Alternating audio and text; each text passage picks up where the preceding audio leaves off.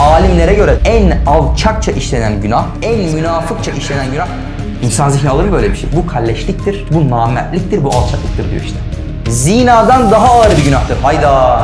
Kadın giderken kadının arkasından dedim ki ya etekleri de ne kadar uzun bir kadındır dedim. Efendimiz Aleyhisselatü Vesselam dedi ki yere tükür ya Ayşe dedi. Yere tükürdüm ağzından et parçaları döküldü. Bugünkü konumuz gıybet.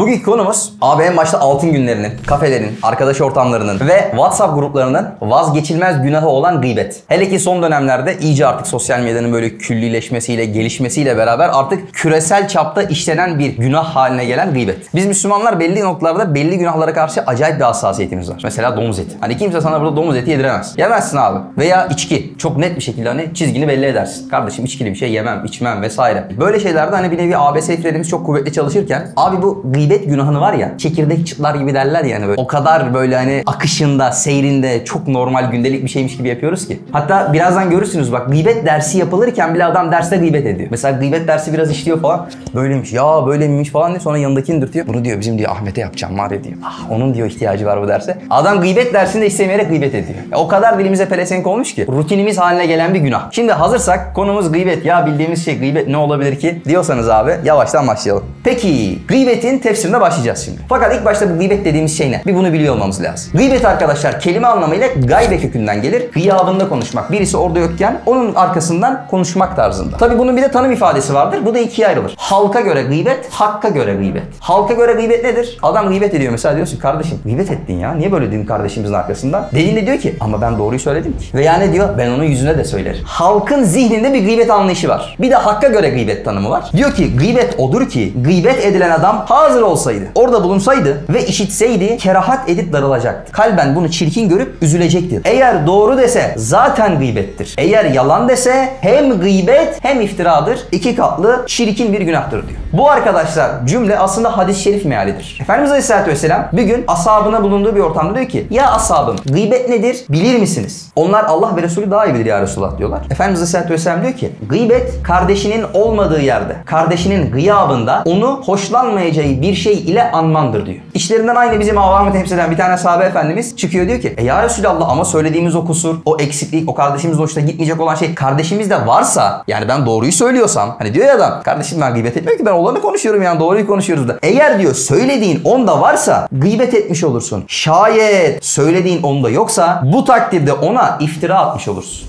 Hem gıybet hem iftira. iki katlı çirkin bir günah işlemiş olursun. Diyor ki Bediüzzaman Hazretleri işte eyyuhibbu ahadukum ey ye'kule lehme ahihi meyta. Sizden biri ölü kardeşinin etini yemekten hoşlanır mı? Ayetinde 6 derece zemmi zemmeder. Kınar, kötüler. Gıybetten 6 mertebe şiddetle zecreder. Yani bir cümle içerisinde bak. Gıybet ayeti Hucurat suresi 12. ayetin bir kısmı. Diyor ki bu cümlede diyor 6 farklı şekilde bak gıybet böyle kötüdür yaklaşma. Bak gıybet şöyle kötü bir şeydir yapma diye bu cümlede 6 defa diyor zemmi zemmedip 6 defa kötüleyip insanları 6 defa zecrediyor. Bu günah işlemekten sakındırıyor, uzaklaştırıyor, kovuyor demektir. Peki bu ayet nedir? Ey iman edenler! Zannın çoğundan sakının çünkü bazı zanlar günahtır. Bir insan hakkında, bir konu hakkında kesin bir bilgi yoksa ne yapıyorsun abi? Bir yargıda bulunuyorsun değil mi? Bu zandır. Ama bu ikiye ayrılır. Ya hüsnü zandır ya suizandır. Yani o olay veya o kişi hakkında ya iyi düşünürsün ya kötü düşünürsün. Diyor ki o zanlardan sakının çünkü bazı zanlar günahtır. Eğer kötü düşünüyorsan, suizan yapıyorsan bu günahtır. Yani gıybetin haram kılındığı ayet ilk başta suizan haramdır diye başlıyor. Bak çok farklı mana çıkacak burada. Gizlilikleri araştırmayın. Gıybet etmeyin. Birbirinizin gıybetini yapmayın. Haramdır. Sonra şöyle devam ediyor. Sizden biri ölü kardeşin etini yemekten hoşlanır mı? Tabii ki bundan tiksinir. Bak aslında gıybetin haram kılındığı ayet diyor ki gıybet diyor bir sonuç meselesidir. Neden? İnsan ilk başta diyor suizan yapar. Bak bu da haram. Hakkında kötü düşüncede bulundun ya. Ondan sonra onun bir kusurunu, bir açığını arar. Ondan sonra ne olur? İçini tecessüsle ve suizanla doldurduğu için artık ağızdan gıybet taşır. En son diyor gıybet eder. Yani suizan da haram, tecessüs de haram, gıybet de haram. Fakat gıybet kebair. Büyük günah. Diyor ki aya acaba sual ve cevap mahalli olan aklınız yok mu ki bu derece çirkin bir şeyi anlamıyor. Diyor ki sizin diyor sormak ve cevap almak mahalli olan bir nevi cihazınız olan. Bu aklınız diyor yok mu ki böylesine akılsızca bir işi yapıyorsunuz. Çünkü gıybet etmek demek biriktirdiğin amelleri, hasenatı, sevabı öfkelenip sinirlenip gıybetini ettiğin kişiye transfer etmek demektir. Bu da diyor akılsızlıktır. Bak Bediüzzaman Hazretleri diyor ki nasıl ateş odunu yer ve bitirir, gıybet dahi amali salihayı yer ve bitirir. Bu ne demek? Örnek veriyorum. Sen gıybet ettin. Gıybet edince ne yapıyorsun? Gıybet ettiğin için, kebair olduğu için bir günaha giriyorsun. İki, gıybet ettiğin kişi hakkında onun kul hakkına giriyorsun. Şimdi ne oluyor biliyor musun? Mahşere gittin. Kul mahşerde mahkeme-i kübrada hesap veriyor. Hem gıybet kebairini işlediği için o günahından dolayı hesap veriyor. Aynı zamanda onun hakkına girdiği, gıybetini ettiği kişi kimse o çağrılıyor. Bu zat o gıybet ettiği kişi bundan hakkını almak istiyor. Nasıl alacak? Onun amellerinden, onun sevaplarından, amel salihasından bir kısmını kendi amel defterine alıyor. Öbürkü geliyor, öbürkü sevabından alıyor. Öbürkü geliyor, öbürkü sevabından alıyor. Sonra ne oluyor? Eğer ki bu zatın daha üzerinde kul hakkı olan insanlar var. Sırayla geliyorlar haklarını almaya. Bu zatın daha hakkını alacak olan insanlar bitmeden amel defterindeki sevapları biterse o zaman gıybet için ve hakkına girdiği insan hakkını almaya geldiğinde kendi amel defterindeki seyyiatından, günahından öbürküsünün amel defterine veriyor. Efendimiz Aleyhisselam diyor ki ya ashabım diyor müflis kimdir bilir misiniz? Müflis kelime anlamıyla iflas eden demek. Diyor ki ya Resulallah diyorlar bizim bildiğimiz müflis parası ve malı olmayandır. Budur diyor böyle biliyoruz diyor. Diyor ki hayır. Benim ümmetimin diyor müflisi. Bu zat diyor namazı vardır. Zekatı vardır. Haccı vardır. Umresi vardır. Sadakası vardır. Haz naseli vardır. Ama diyor aynı zamanda o zat onu arkadan çekiştirmiştir. Buna gıybet etmiştir. Buna iftira atmıştır. Buna saymıştır. Buna sövmüştür. Ondan sonra diyor hak sahipleri gelir. Ondan diyor hakkını alırlar. Onun diyor sevaplarını alırlar. Eğer ki diyor o hakkını alacaklar bitmeden bu zatın diyor sevapları biterse o zaman diyor günahlarını o zata naklederler ve diyor böylelikle de sonra da o zat diyor cehenneme atılır kaybeder. İşte diyor benim ümmetimin müflisi budur. Asıl iflas etmiş olan budur diyor. Bak dünyalık iflasların hepsinin abi telafisi mümkün müdür? Mümkündür. Hatta dünya ünlü böyle çok zengin adamların hayatlarını falan bakarsanız hayatlar hep böyle zaten iflas anlarıyla doludur. Dünyadaki iflasın telafisi var. Ahiretteki iflasın telafisi mümkündür. Diyor ki hiç aklınız yok mu? Aa ya hiç aklınız yok mu ki böyle akılsızca bir iş yapıyorsunuz? Dünyalık cihetle düşünemediğimiz sırasında böyle problem var. Dünyalık cihetle düşün. Abi yıllarca çalışmışsın, didilmişsin, maaşlarını biriktirmişsin vesaire bir ev almışsın. Ardından evin anahtarını gidiyorsun, gıybetini ettiğin adama anahtar teslim veriyorsun. Buyur kardeşim sana hediye ediyorum. İnsan zihni alır mı böyle bir şey? Maddiyatla kıyaslayınca hemen oturuyor değil mi? Bizim için artık amel paradan hani kıymetsiz olduğu için parayla örnek verelim. Daha iyi anlıyoruz onu. Düşünsene her gıybet ettiğinde banka hesabından 1000 lira çekilse. Gıybet edebilir misin? E gıybet ediyorsun amellerinden çekiliyor işte. Bak meseleyi görüyor musun? Bak Şehzade Hazretleri diyor ki ben diyor illaki diyor birinin gıybetini yapacak olsam anamın babamın diyor gıybetini ederim. En azından diyor sevapların bu yabancıya gitmesin, başkasına gitmesin. Abi gıybetle sevap transferi yapıyorsun. Böyle bir günah. Abi az bir şey çalışıyorsun, dinliyorsun, bir amel topluyoruz. Zaten ahir zamandayız. Hani amellerimiz sayılı. Hani nafile oruç bir sene içerisinde kaç tane nafile oruç tutuyorsun? Son bir ay içerisinde kaç kere teheccüde kalktın? Kaç kere sadaka verdin? Bak düşün bunları. Az bir şey amel topluyoruz. Ahir zamandayız. Bunları da gıybet ettiğimiz zata al biraz sana, biraz sana, biraz sana, biraz sana dağıtıyoruz. Başka bir hadiste diyor ki gıybetten sakının. Çünkü gıybet zinadan daha ağır bir günahtır. Hayda. Abi sen gıybet kebair demedin mi? Evet gıybet kebairdir. E zinada ek verir kebair daha büyük bir günah. Nasıl bu bundan daha şiddetli bir günah oluyor? Çünkü zina eden bir kimse tövbe edince tövbesi Allah tarafından kabul edilebilir. Fakat gıybeti edilen kimse o zatı affetmedikçe gıybeti o dedikoduyu yapan kişinin affedilmesi mümkün değildir. Bak bir tanesi Allah ile kul arasında. Tövbe ettiğini diyor Allah affeder. Ama diyor öbür kişi diyor kul hakkı aynı zamanda. Hem günah hem kul hakkı. O zat sana hakkını helal etmediği sürece abi işin yaş. İkinci kelime diyor ki ey yuhibbu ya şimdi yuhibbu kelimesindeyiz. Hoşlanır mı? Lafzıyla der. Aya acaba sevmek ve nefret etmek mahalli olan, yeri olan kalbiniz bozulmuş mu ki en menfur bir işi sever? Hazreti Ayşe validemiz anlatıyor. Diyor ki ben bir gün diyor Resulullah'ın yanındayken diyor Hazreti Safiye validemize kızıyor. Sinirleniyor diyor ki ya Resulullah diyor Hazreti Safiye'nin diyor boyunun kısalığı sana kusur olarak yetmiyor mu diyor. Öyle deyince Efendimiz Aleyhisselatü Vesselam bir hışımla dönüyor. Diyor ki ya Ayşe diyor öyle çirkin bir söz söyledin ki eğer bu söz diyor cisimleşseydi denize atılsaydı bütün denizi diyor bulandırır ve kokuturdu. O kadar çirkin bir söz söyledin. Başka bir zaman gene Hazreti Ayşe validemiz rivayet ediyor. Diyor ki ben Resulullah'ın yanındaydım. Bir tane kadın geldi ve gitti. Kadın giderken kadının arkasından dedim ki ya etekleri de ne kadar uzun bir kadındır dedim diyor. Efendimiz Aleyhisselatü Vesselam dedi ki yere tükür ya Ayşe dedi. Yere tükürdüm ağzından et parçaları döküldü diyor. Yani bu kadar tiksindirici bir günahı nasıl diyor işlersiniz? Kalbiniz mi diyor bozulmuş? Üçüncüsü ehadüküm eyyuhübbü ehadüküm yani sizden biri kelimesiyle der. Cemaatten hayatını alan hayat içtimai, sosyal hayat ve medeniyetiniz ne olmuş ki böyle hayatınızı zehirleyen bir ameli kabul eder. Uhuvvetin, kardeşliğin, cemaatin, toplum hayatının kökünü zehirleyen şey gıybettir. Akrabalar arasındaki yapılan muhabbetleri düşünün. Yengeler, teyzeler, halalar genelde kan tarafı olduğu için. Temeli ne abi? Gıybet. O ona öyle demiş, bu buna böyle demiş şuna şöyle yapmış. Aileler arası kopukluklar. Birkaç sene önce dünyanın en iyi CEO'su ödülünü alan bir adam vardı. Adamla röportaj yapıyorlar. Adam başarısının 3 tane sırrını söylüyor. Bir tanesini biliyor musun? Diyor ki ben diyor çalışanlarım arasında birbirleri yokken arkalarından dedikodu yapmalarını yasakladım. Bu yüzden diyor kimse kimseye diyor sinirlenmedi, öfkelenmedi, kavgalar çıkmadı. Bir aile tarzında dayanışma haline diyor işlerimizi yaptık. O yüzden diyor aslında bunu ödülü alıyor. Gıybet toplum hayatının, iş ortamının, arkadaşların kökünü zehirleyen bir şey aslında. Bediüzzaman Hazretleri diyor ya bizim diyor Halık'ımız bir, Rabbimiz bir, Malikimiz bir, mabudumuz bir, dinimiz bir, peygamberimiz bir, kitabımız bir, devletimiz bir, milletimiz bir. Her şeyimiz bir, binlerce birbirler var. Bu kadar birbir bize kardeşlik için, uhuvvet için, cemaat için yetmiyor mu ki o kardeşinizin gıybetini ediyorsunuz diyor. Bu kadar şiddetli bir günah. Bak Medine'de halk arasında gıybet yayılmaya başladığı zaman Abdullah bin Ömer Hazretleri rivayet ediyor. Diyor ki bu meseleden diyor gıybetin yaygınlaştığını diyor Resulullah duydu. Kulağına gitti. Diyor ki bir hışımla diyor hutbeye çıktı. Hadisi naklederken Abdullah bin Ömer Hazretleri diyor ki Resulullah'ı diyor hutbede diyor bundan önce ne böylesine öfkeyle görmüştük ne de bundan sonra böylesine öfkeyle görecektik diyor. Hadisi şerh edenler diyor ki Efendimiz Aleyhisselatü Vesselam öyle şiddetli bir şekilde bağırıyordu ki Medine'nin dışında bulunan evlerdeki bebekler bile o sese uyanıyordu diyor. Bu kadar şiddetli bir şekilde hutbede bağıra bağıra diyor ki Ey kalbiyle değil de sadece diliyle iman etmiş olanlar. Gıybet edenler için. Müslümanların gıybetini yapmayın. Onların ayıplarını araştırmayın, tecessüs yapmayın. Zira kim kardeşinin ayıp ve kusurunu araştırırsa Allah da onun ayıp ve kusurunu araştırır. Allah diyor kimin kusurlarını araştırırsa onu evinin içinde bile olsa rezil rüsva eder diyor.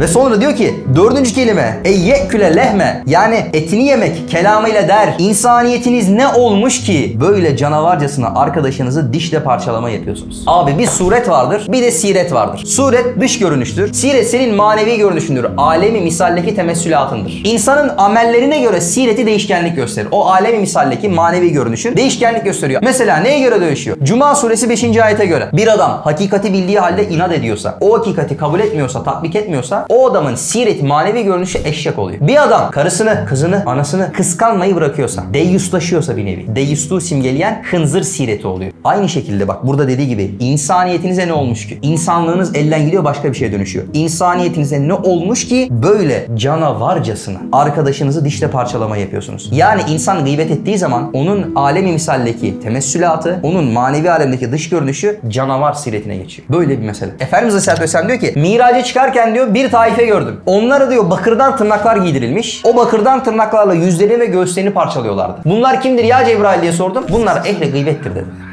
Beşinci kelime ehihi yani kardeşinin kelimesiyle der hiç rikkati cinsiyeniz hiç yani kendi cinsine karşı bir şefkat hissi hiç sıla rahiminiz yok mu ki böyle çok cihetlerle kardeşiniz olan bir mazlumun şahsı manevisini insafsızca dişliyorsunuz ve hiç aklınız yok mu ki kendi ağzınızı kendi dişinizde divane gibi ısırıyorsunuz. İnsan diyor en çok diyor kime şefkat eder? Kendi cinsine aslında şefkat eder. Yani yerde bir ölü kedi yatıyor bir de ölü bebek yatıyor. Hangisine daha çok üzülürsün? Kendi cinsinden olan o bebeğe daha çok üzülürsün değil mi? Ya diyor hiç diyor rikkati cinsiyeniz yok mu diyor böyle insafsızca bir amel yapıyorsunuz. Onu geçiyor. Ya diyor hiç sıla rahiminiz yok mu ki? Ya Allah'ın hatırı da mı yok diyor ya? Allah'ın diyor aranızda kurduğu bağının da mı diyor hatırı yok? Gene diyor gıybet ediyorsunuz. Ve sonra devam ediyor. Kardeşiniz olan bir mazlumun şahsı manevisini. İlle kardeşim gıybetini etmiyorum ama bizim işte iş yerindeki adamın gıybetini ediyorum. Değil. Hucurat suresi 10. ayette ne diyor? Müminler ancak kardeştirler. Mümin sen kardeşsin. O kardeşinin diyor bu zararı veriyorsun. Onu diyor dişliyorsun. Daha da ileriye gidiyor. Aklınız yok mu ki kendi ağzınızı kendi dişinizde divane gibi deli gibi ısırıyorsunuz. Psikolojik bir hastalıktır bu aynı zamanda. Aklın yok mu ki diyor kendi kendine ısırıyorsun. Neden? Efendimiz Aleyhisselatü Vesselam hadis-i şerifine atıfta bulunuyor. E, müminler diyor bir vücudun azaları, uzuvları gibidirler. Sen o kardeşin aslında zarar vererek onu dişleyerek kendi uzvunu dişliyorsun.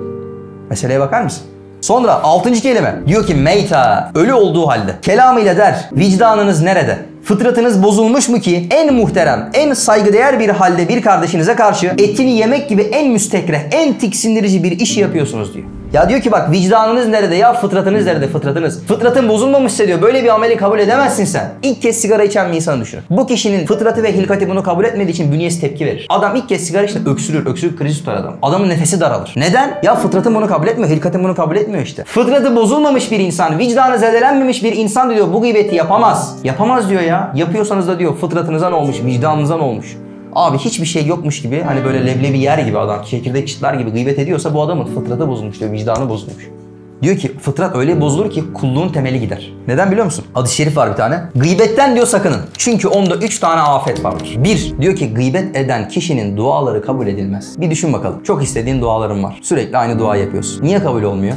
Belki de bir yerde bir gedik var işte bir kaçak var. İkinci afet. Yaptığı hayrat kabul olunmaz. Hadis-i şerif ona sadaka verdim buna yardım ettim şuna hayret ettim kabul edilmez. Üç de diyor o zatın üzerinde günahlar birikir. Sonra Üstad Hazretleri bunların hepsini topluyor. İlk başta parça parça ayeti altıya böldü. İzah etti hepsini. Sonra hepsini bir kere de bütünleştiriyor. Diyor ki altı kelimeyle altı derece şiddetle gıybeti takbih ediyor. Çirkin gösterip bizi ondan sakındırıyor. Yani hemze ile der aklına bak. En başta aklına bak. Böyle şeye cevaz verir mi? Ya diyor müstakim aklın yoksa kalbine bak. Böyle şeye muhabbet eder mi? Ya diyor kalbin de bozuksa selim kalbin yoksa vicdanına bak. Diyor ki eğer diyor selim kalbin yoksa vicdanına bak böyle dişinde kendi etine parçalamak gibi hayat-ı içtimaiyeyi bozmaya rıza gösterir mi? Sonra vicdanı içtimaiyen olmazsa insaniyetine bak. Böyle canavarvari iftirasa, onu avlayıp parçalamaya iştah gösterir mi? Bunu böyle isteyerek gıybet eder mi? Manen insaniyetin olmazsa, ya insaniyetin de mi yok? Diyor ki rikkati cinsiye, kendi cinsinden olana acıma ve karabeti rahmiyene bak. Akrabalık bağlarım var ya onlara bak. Böyle kendi belini kıracak harekete meyleder mi? Ya rikkati cinsiyen olmaz. Ya o da mı yok sende? Bu kadar mı zalim bir adamsın? Diyor ki rikkati cinsiyen olmazsa hiç sağlam tabiatın yok mu ya? Ya sağlam fıtratında mı yok ki ölüyü dişlerinle parçalıyorsun? Manevi alemde dişlerinle parçalıyorsun ya. Sırtlanlar gibi düşün. Değişik hayvanlar, canavarlar gibi düşün kendini. Manevi alemdeki siretin böyle oluyor. Parçalıyorsun demek akıl, kalp, vicdan, insaniyet, rikkati cinsiye, tabiat, şeriat. 7 tane sayıyor. Nazarında gıybet merduttur, reddolunmuştur ve matruttur, kovulmuştur. Buna leffü neşr denir aynı zamanda. Edebi bir sanattır bu aslında. Parça parça açtığını sonra hepsini bütünde bir kere toplayıp sana sunması aynı zamanda edebi bir sanattır. Bediüzzaman Hazretleri edebi sanatı da konuşturuyor. Peki abi gıybet madem bu kadar alçakça bir şey, bu kadar zalimce bir şey, bu kadar insafsızca bir hareket. Ya bu gıybeti kimler yapar? Bediüzzaman Hazretleri diyor ki gıybet ehli adavet ve haset ve inadın en çok istimal ettikleri alçak bir silahtır. Hayda. Kimler yapıyormuş bunu? Ehli adavet, ehli haset ve ehli inat. Ehli adavet yani bir kişiye karşı düşmanlığın varsa gıybet edersin. Gıybet ediyorsan da düşmanlığın vardır. İstediğin kadar yok ya ben o kardeşimi aslında çok seviyorum da şöyle şöyle de istediğin kadar de bunu. İçten içe o kardeşine karşı bir adavet besliyorsundur. Ehli adavet diyor yapar. İntikam duygusun tatmin için. Gıybet ettiğin kişiye mutlaka ya adavet ediyorsun ya haset ediyorsun o kişiyi. Diyor ki ehli haset diyor gıybet eder. Yani o kişiyi hakiki sevmiyorsun kıskanıyorsun. Kıskançlığından diyor gıybet ediyorsun. Ya da diyor ehli inat. Adam inadından ne yapıyor? 10 yıl küs kalıyor. Sadece arkadan gıybet. Bunlar diyor gıybet ederler. Bunlar diyor bu alçakça silahı kullanırlar. Sonra devam ediyor. İzzeti nefis sahibi. Yani yüksek ruhlu bir insan. Bu pis silaha tenezzül edip istimal etmez. Böyle bir silah kullanmaz. Nasıl ki meşhur bir zat demiş. Düşmanıma gıybetle ceza vermekten nefsimi yüksek tutuyorum. Ve tenezzül etmiyor. Çünkü gıybet zayıf ve zelil ve aşağıların silahıdır. Alimlere göre de en alçakça işlenen günah, en münafıkça işlenen günah gıybettir.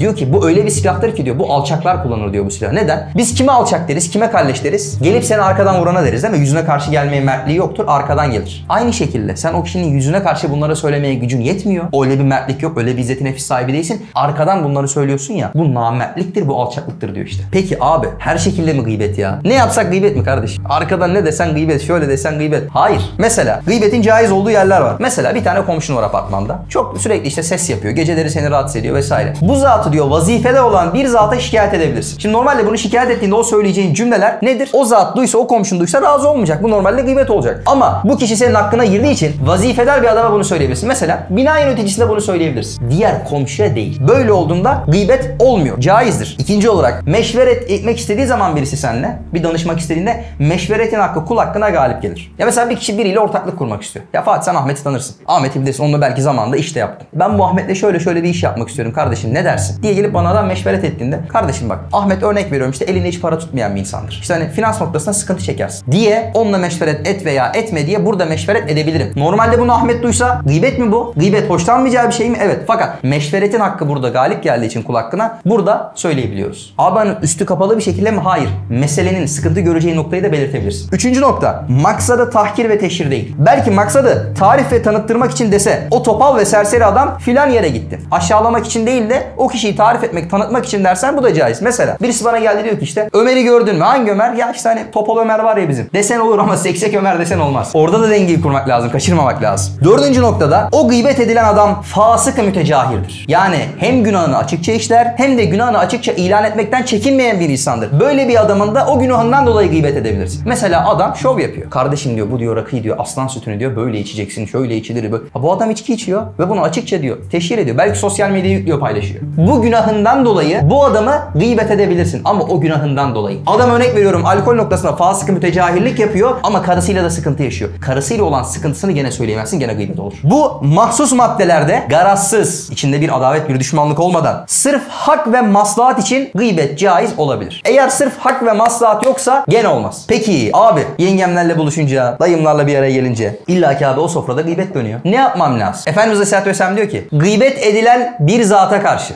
Senin yanında gıybet ediliyor ya. Senin yanında diyor gıybet edilirken gıybet edene sus demek yüz şehit sahabıdır. Başka bir hadis. Diyor ki her kim gıyabında kardeşinin kusurlarını söyletmezse. Kardeş orada yokken birisi onu gıybet etmeye başladı. Kusurlarını söylemeye başladı. Diyor ki kim diyor bir kardeşinin gıyabında kusurlarını söyletmezse kıyamet gününde Allah da onun kusurlarını örtmeye tekeffül eder. Kefil olur diyor. Sen kardeşinin kusurları anlatılırken onu susturduğunda Allah da diyor kıyamet günü senin kusurlarını örter. Ama tam tersi hadiste var. Kim ki yanında Müslüman kardeşinin gıybeti yapıldığı halde gücü yeterken kardeşine yardım etmezse Allah onu dünya ve ahirette rezil rüsva eder. Senin yanında gıybet ediliyor, susturmaya gücün yetiyor, susturmuyorsun. Arkadaş ortamlarında yapılan gıybetleri şimdi düşün. Yanında dönen gıybetleri düşün.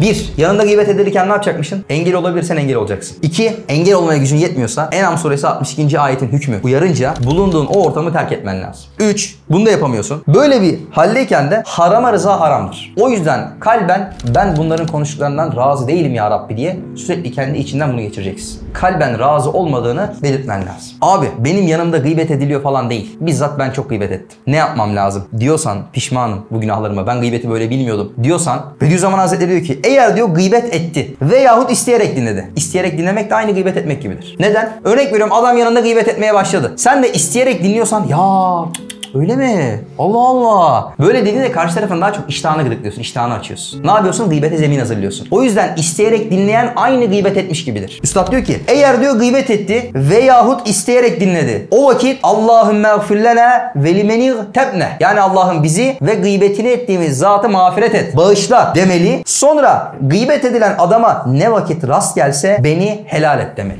İşte bu çok zor. Birinin gıybetini yaptın. O zamanlar gıybeti böyle bilmiyordun. Pişman oldun, üzüldün, tövbe ettin. Ne yapacaksın? Helalliğini alman lazım. Bakın samimi söylüyorum çok zor bir şey. Ben bugün çok tecrübe ettim. Derse gelmeden önce anam babamdan bir başladım abi. Yaklaşık bir 40 kişiye yakın helallik aldım. Benim de liste kabarıkmış. İlla ki. Abi herkese helallik alıyorsun. Zor bir şey. Bak ben söyleyeyim zor bir şey. Ama dinen bunu burada yapmak zorundasın. Ahirete aklın varsa bırakma. Bak nasıl tasvir ediliyor bu hesabını görüleceği gün. Annenin evladından, çocuğun babasından kaçtığı bir günde. Peygamberlerin nefsi nefsi dediği bir günde. Diyor ki o gün diyor hiçbir hak sahibi hakkını almadan o gün bitmez. Diyor ki rivayette boynuzlu bir koç boynuzsuz koyuna gitti boynuzuyla vurdu. O boynuzsuz koç diyor boynuzlu koçtan diyor hakkını alacaktır. Başka bir rivayet. iki tane yaprak yere düştü. Bir altta bir üstte kaldı. Alttaki yaprak üsttekinden hakkını alacaktır diyor. Hak almadan bitmeyecek bir alem. Bak bu dünyada nefsin ağrına gider, zoruna gider ama yap.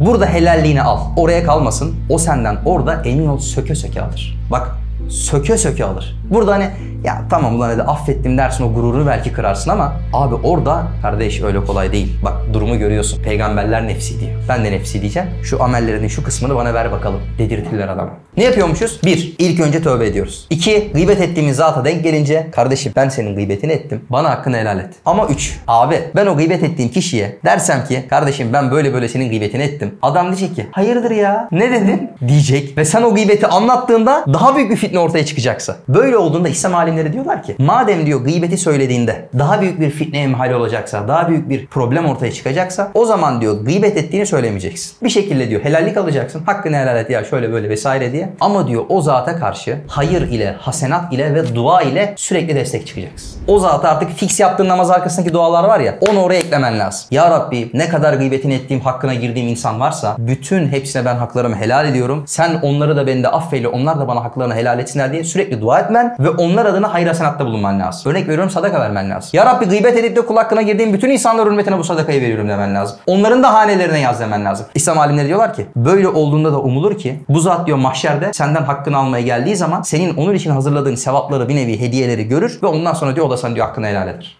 Arkadaşlar gıybetin çeşitleri vardır. Temelde 7'ye ayrılır gıybet. Birincisi mimikle, jestle, hareketlerle yaptığın gıybet. Mesela iki kişi konuşuyor düşünün. Ortamdasınız. Birisi sana bir şey anlatıyor. O kişi arkasından dönünce anlat anlat yine sıkıyor. Hani hareket yapıyorsun ya. Şu en alt mertebe gıybet. İkincisi o kişi orada yokken onun taklidini yapmak. Mesela arkadaş ortamında bir taklidi onun bir mimiği vardır, bir hareketi vardır. Aranızda meşhurdur. O yokken onun taklidini yaparsın. Hemen akıllara geliyor zaten sırıtmaya başlıyorsunuz. O da gıybet. Üçüncü çeşit gıybet isim vermeden gıybet etmek. Bunu biraz daha hani gıybete yapmaya dikkat edenler yapar. Ne? Bütün özellikleri söylüyorsun abi. Adamın bütün sıfatlarını sayıyorsun. Hani bir ismini vermediğin kalıyor. Neden? Gıybet olmasın diye isim vermiyorsun. Ama bütün özelliklerle o adamı teşhir ettin. Bu da gıybet. Dördüncü çeşit gıybet. Bu nedir? Arkadaşlar bu normal bildiğimiz dedikodu. Halk arasında yapılan o gıybet işte. Normal konuştuğumuz gıybet. Beşinci gıybet fitne verdiren gıybet. Bu daha beter. Hem gıybet ediyorsun hem de sonra diyorsun ki ya daha ben neler anlatırım da işte neyse konuşturma beni. Gıybet olmasın. Abi hem gıybet ettin anlattın o kadar hem de adama lan daha neler var diye bir de fitne verdin. Bu daha beter. Altıncı çeşit gıybet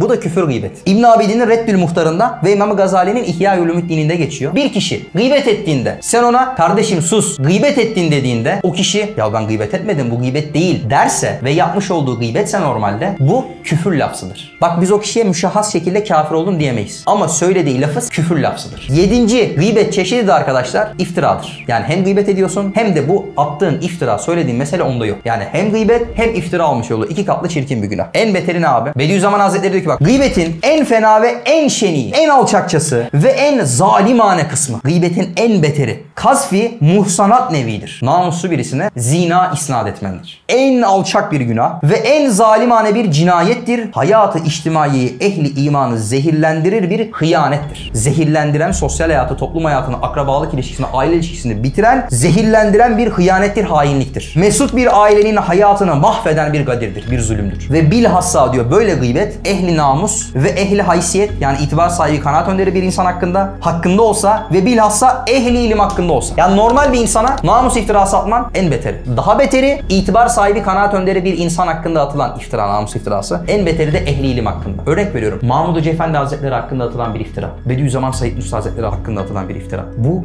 en beteridir diyor Üstad Hazretleri. Ve diyor ki bu inşadan, bu yaymadan, bu gıybet yapmadan yapanlar tövbe etsinler. Yoksa kahr ilahi gelmesi, Allah'ın kahrının, Allah'ın azabının gelmesi kaviyen memuldür. Kuvvetle beklenir. Allah'ın kahrı azabı sana dünyada gelir diyor. Öyle iftira edenler böyle iftiraya maruz kalacakları cezayı amelleri olmak ihtimalini düşünsünler diyor. İnsanın başına gelen ceza ameli cinsinden gelir. Veya men dakika dukka eden bulur. Diyor ki böyle bir iftiraya atan adam başına böyle bir şey geleceğini düşünsün. Şöyle bir mesele var. Hakkınızı dediğim gibi hani birisi sizin hakkınızda gıybet etmiştir. O kişiye çok belki adavetiniz vardır, düşmanlığınız vardır, hasmınızdır. Hiç sevmediğiniz, hiç haz etmediğiniz biridir. Biliyorsundur gıybetini etmiştir. Ve sen diyorsun ulan seni ahirete sakladım. Hakkımı senden orada alacağım dediğin insanlar vardır hayatında. Abi öyle insanlara hakkınızı helal edin. Allah'ın lütfu orada çok büyük zorluk seferi diye bilinen Tebük seferi olacağı zaman Efendimiz Aleyhisselatü Vesselam sahabe efendilerimizden açıktan infak istiyor. Açıktan bir şekilde infak edin diyor. Malınızı, mülkünüzü diyor Allah yolunda diyor infak edin ihtiyacımız var. Diyor ki kim bir hurma tanesi bile olsa yardım ederse Allah ona cehennemini haram edecek, onu cennetine koyacaktır diye açıktan infak ediyor, infak istiyor ve böyle bir vaatte bulunuyor. Ondan sonra bazı sahabe efendilerimiz malının tamamını, bazı sahabe efendilerimiz malının yarısını geliyor infak ediyorlar. Ondan sonra Ulbe bin Zeyd Hazretleri var. Kendisi çok zayıf, yaşlı ve çok fakir bir sahabe. Bu sahabe efendimiz evine gidiyor, bakıyor, infak edecek hiçbir şey yok. Sonra gece dua ediyor. Açıyor ellerini diyor ki Ya Rabbi biliyorsun ki şu üzerimdeki giydiğim elbiseden başka ikinciye giyebileceğim başka bir elbisem yok. Ya Rabbi sen biliyorsun ki sabah kalktığımda yiyebileceğim bir lokma yemeğim bile yok ki infak edeyim Allah yolunda. Ya Rabbi diyor sen biliyorsun ki ben savaşa katılıp hayatımı, canımı infak etmek istiyorum, şehit olmak istiyorum ve bu sefer de Resulün zayıfım ve yaşlıyım diye kabul etmiyor. Ya Rabbi diyor ben diyor ölçtüm, biçtim. Benim Allah yolunda infak edebileceğim tek bir şeyim buldum. Ya Rabbi benim fakirliğimden, benim zayıflığımdan, benim yaşlılığımdan dolayı beni arkadan çekiştirenler var. Benim gıybetimi yapanlar var. Arkadan bana sayıp sövenler var. Benim haklarıma girdiler. Ben ya Rabbi onlardan ahirette normalde hakkımı alırım. Ama senin rızan için Allah yolunda bütün o haklarımı infak ediyorum. Bütün üzerimde kimin ne hakkı varsa hepsine helal ediyorum ya Rabbi diyor, yatıyor. Sabah namazına mescitte buluşuyor sahabe efendilerimiz. Efendimiz Aleyhisselam sabah namazını kıldırıyor. Namaz bittiğinde Efendimiz Aleyhisselatü Vesselam namazla bildiriliyor. Bir hışımla arkasını dönüyor Efendimiz Aleyhisselatü Vesselam. Diyor ki söyleyin diyor. Kim diyor dün gece ne infak etti ki Allah katında semadan kabul buyuruldu diyor. Ses yok. Tekrardan diyor. Söyleyin diyor kim ne infak etti ki Allah yolunda ne infak etti ki dün gece semadan diyor kabul buyuruldu. Cevap yok. Üçüncüyü diyor tekrardan. Hemen diyor söyleyin.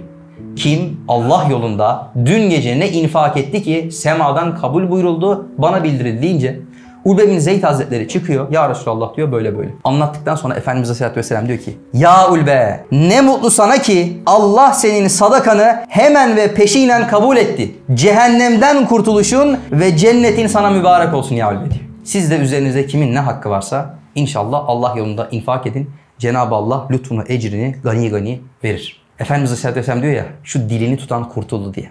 Rabbim bizi onu tutanlardan eylesin. Allah rızası için El.